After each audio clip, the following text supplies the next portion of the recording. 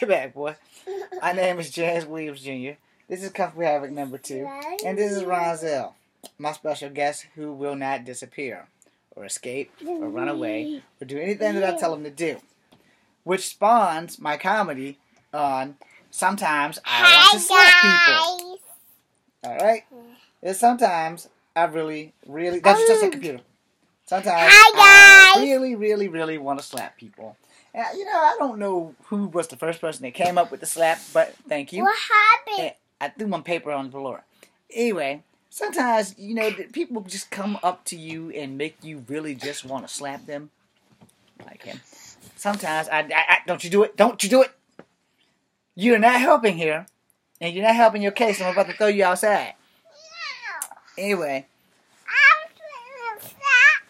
you need to go. No. Yes, you do.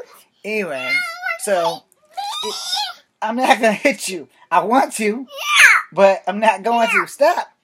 Anyway, sometimes I really truly want to slap people. There are places I go when I see people doing some dumb shit, and I swear to God, I want to slap them. That, that, no, no.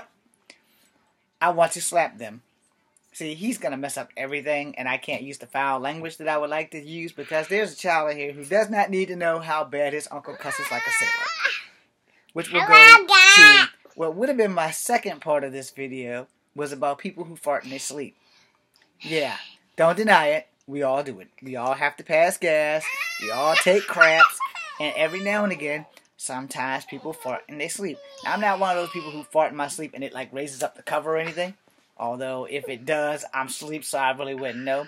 But when you have a cover like this, it has so many holes in it. I'm pretty sure that the air just seeps right on it. But, you know. Will you stop mocking me? You need to be quiet and let me do my thing. No, no, you need to be no, no, no, no, nope. How many times do you have to tell a two-year-old no? No, don't chew on the cover, man. No, no, no. That does not go in your mouth. Why, God, why? Anyway, I am not a comedian, but sometimes the things that I oh, say, people oh, just find funny. Boy, And we can. you know you're in striking distance, right? Stop biting my cover. So this is like totally ruining everything, and I'm gonna have to stop video blogging for the simple fact that sometimes I really want to slap people, especially those people who fart in their sleep. Last night he was sleeping with me, and last night he farted in his sleep, over and over and over and over. Stop it! And stop headbutting me. And that's the other thing. He has a secret weapon. That, that headbutt is just dangerous. Would you stop? Anyway, the other thing, you know, I'm, I'm oh. about to go right into my my favorite saying of all time: respect the stop. You ever to throw somebody through a closed door? Yeah. Now you know exactly how I feel. I want to throw him through a closed door. Can I throw you through a closed door? No, colors. Well, I want to throw you through a closed door.